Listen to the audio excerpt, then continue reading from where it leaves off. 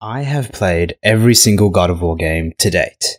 I grew up with the fluidity and ferocity of swinging the mighty blades of chaos. And so when I saw the direction of the new God of War with its over the shoulder camera and axe as a primary weapon, a weapon known for being slow and methodical, you can bet your ass I was skeptical. But then this happened, and it changed everything. As for the dead, your frost axe will be useless. You'll need to find something else. Then I must return home. Dig up a past I swore would stay buried.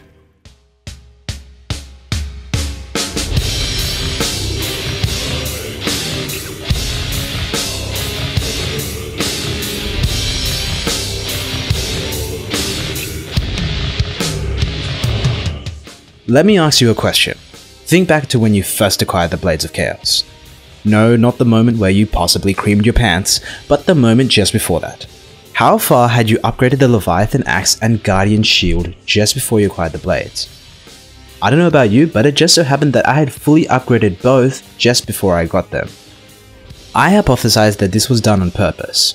You see, up until now, the God of War series had the habit of giving the player a shitload of weapons, and while this provided plenty of weapon variety, it also limited the player's ability to truly learn and understand each weapon, often forcing players to divide their attention between multiple weapons at once.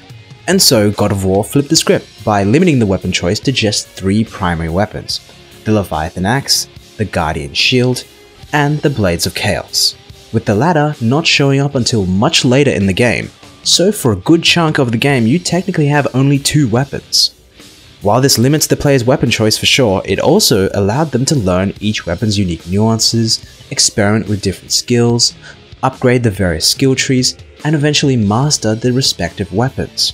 So, by the time you do acquire the blades, the axe and shield no longer become a crutch, but a complement to your new toy. You discover that while the blades may be exceptional at crowd control, the axe still remains king at one on one, and they don't nearly have the stun power as the guardian shield and your fists. And so you may find unique ways to combine the strengths of each weapon, like locking on with the axe and using the blade's long-reaching attacks, or freezing an opponent with the axe and going ham on the other with your fists. These little discoveries may not have been able to happen if the weapons were not allowed to breathe, so to speak. If you played the previous titles in the series, you may have also noticed another prevailing aspect of the God of War franchise that has gone absent in this new entry. And that's the severe lack of ass, titties, No, that's not what I meant. Come on, guys. Kratos has a kid now. Gotta keep things PG. I'm talking about the fact that Kratos can't jump anymore. Seriously, unless it's contextual or for a special attack, Kratos cannot physically jump by himself. Guess that's what happens when you stab yourself in the stomach with a massive sword. You're probably not gonna be as spry as you used to be. Ain't that right, Kratos?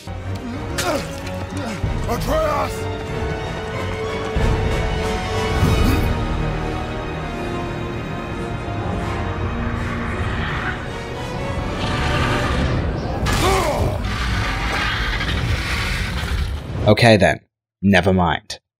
Every God of War game without fail has featured aerial combat, and in taking this away, I do feel you lose some of the charm and fun of launching yourself in the air and coming crashing down in a whirl of change like the graceful ballerina that you are. But what you do gain is a more controlled, grounded experience. And you can see this with some of the mechanical changes Santa Monica has made for this new entry like the over the shoulder camera, which was a point of contention for many people when it was first revealed, because it was such a drastic departure from the zoomed out perspective we were so used to. But after finishing the game, I can see the advantage of its implementation. That being that by limiting the player's vision, you force the player to essentially see what Kratos sees. So when you have your back turned on an enemy, you can no longer rely on the zoomed out camera to know when they go for another strike. You only have your wits and your reflexes to make sure you don't get hit and this surprisingly can make fights more intense and immersive, at least it did for me. You can find similar design philosophies in titles like Resident Evil 4, where the sluggish movement of the main character, coupled with the limited point of view, intentionally creates a tense atmosphere that causes the player to fear that which they cannot see. But that's not to say that the new camera doesn't have its downsides. I do feel that the new camera is perfect for the Leviathan axe, because it allows players to truly get a sense of the weight, power, and speed of each swing and throw that would not have had the same impact if the camera was in third person. But I do not feel that this goes over as well with the blades. The beauty of using the Blades of Chaos in the older games is that each attack was sort of like a dance of change that was emphasized so well with third person zoomed out camera. So when you restrict the player's view, you lose some of the fun of using the blades in the first place. Another interesting aspect of combat that has changed is the dodge mechanic. Previously, your dodge was comprised of a generic roll that can be executed with the analog stick with minor differences based on what weapon you are wielding. This often disrupted the flow of combat because it would completely stop whatever attack you're in the middle of, forcing you to start over. The new dodge mechanic fixes this by introducing a dynamic dodge system. You still have your traditional roll that can be used to evade attacks, but you now have a sidestep option that doesn't interrupt your attack string, while still allowing you to avoid taking a hit. This is a genius move on the dev's part. Now you don't have to duck and roll every time someone takes a swipe at you. Instead, you can focus on continuing your assault, as opposed to relying too heavily on parrying, which is definitely something we saw a lot of in the previous games. You can also see significant differences in the way your character reacts to attacks. In the older games, when you took damage, it would often be accompanied by some variant of a static animation with a bit of blood thrown in, which sometimes didn't even fit the nature of the attack. The new God of War is far more dynamic. Depending on the attack, Kratos can be staggered, thrown, knocked against a wall. Even blocking attacks is far more realistic. In the older games, you can block, and as far as Kratos is concerned, the sun could literally come crashing down from the sky, and he would be just fine. Not in this version of God of War. Now your block is more directional, you may be able to block an attack in front of you, but you're totally exposed if someone lands a hit behind you. Blocked attacks also have weight to them, so Kratos will be pushed back from blocking heavy attacks and have his guard completely broken for unblockable attacks. Another change between this game and the games of prior is the new ways Kratos can attack. You have a reticle mode now that can be used for both the chains and the axe. For the axe, this allows Kratos to throw his axe and recall it at will. See, just watch.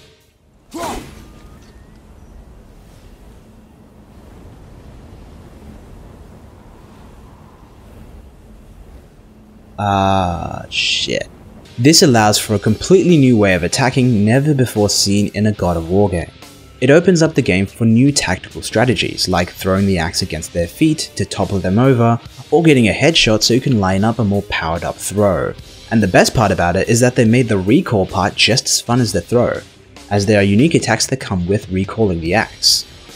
The blades also get a similar treatment but vastly different in how they're implemented from the axe.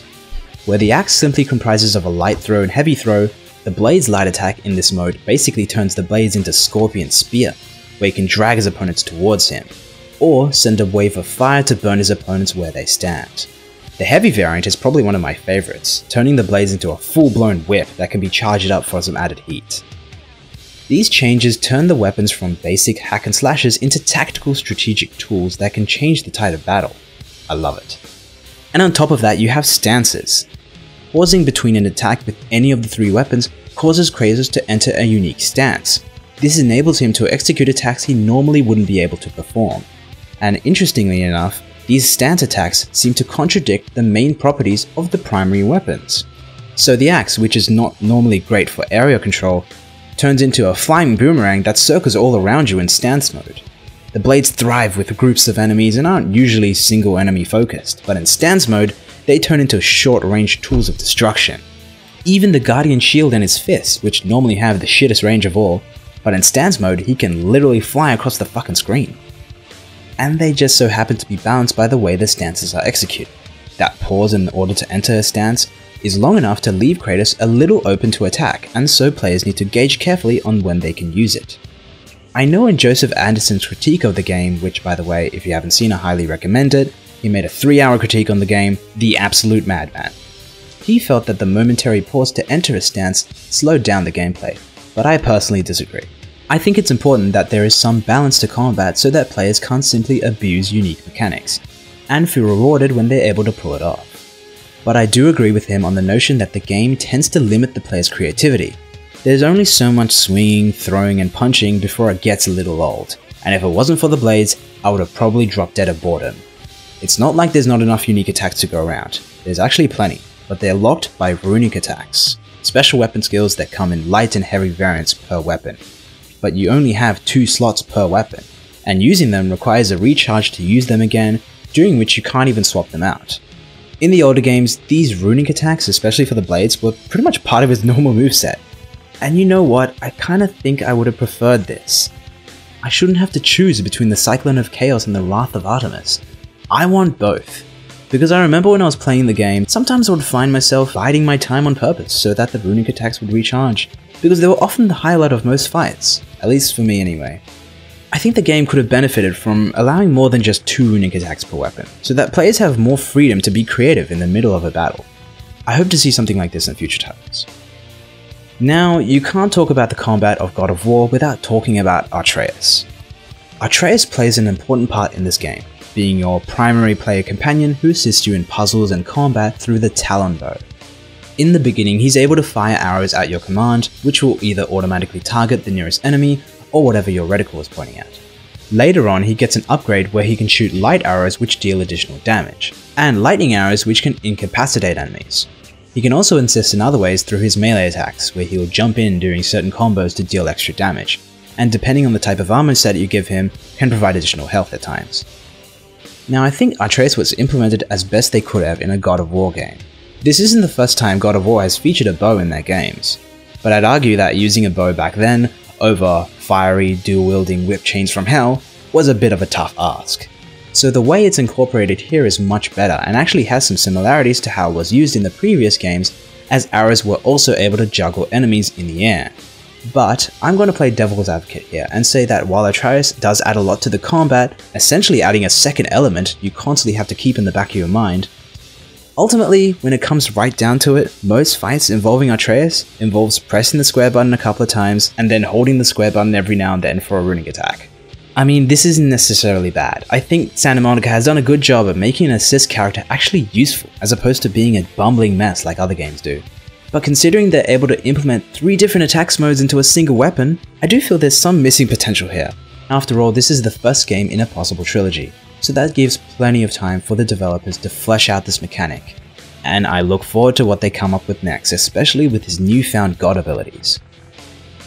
But there is one final aspect that I want to touch upon that completely changes the way I now look at the older games.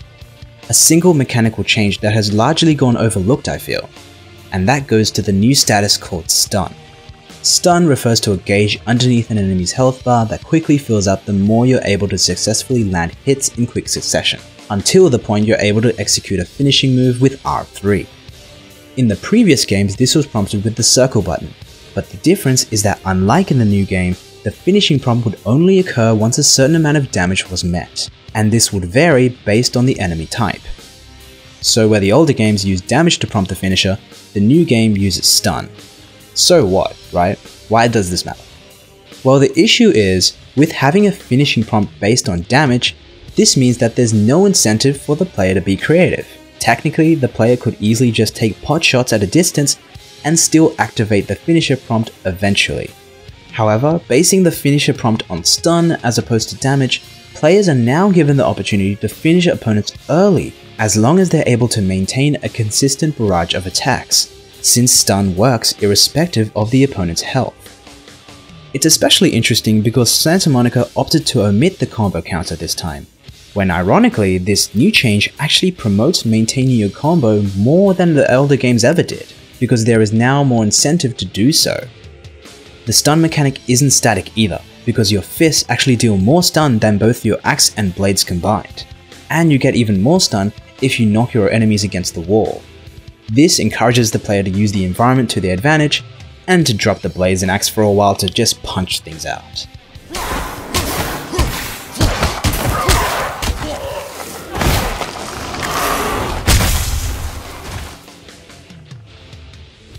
So my overall thoughts on God of War is that it's a game that really does challenge your expectations on what an action game should be. It attempts to evolve what has already been established in the former games while staying true to its roots. And while I'm to miss the frantic hack and slash nature of the original trilogy, I do understand why it was necessary for Kratos and Santa Monica Studio as a whole to evolve to a new level and breathe fresh life into an old franchise.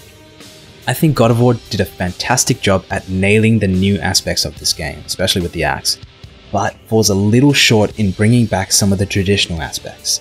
So for the new game, I challenge Cory and his team, now that they've laid down the foundation of the new formula, to take a step back to the past, to look at what the older games did well, and create a new formula that is able to combine the weight and physics of the new with the bombastic, frenzied chaos of the old. I look forward to that.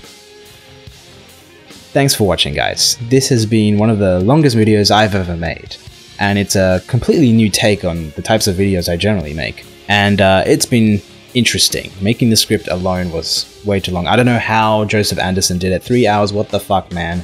How did you do it? Um, feel free to leave your own thoughts on what you felt God of War did well. And uh, hit that like button, subscribe if you want to see more like this. And as always, I appreciate all the support. I'll see you next time.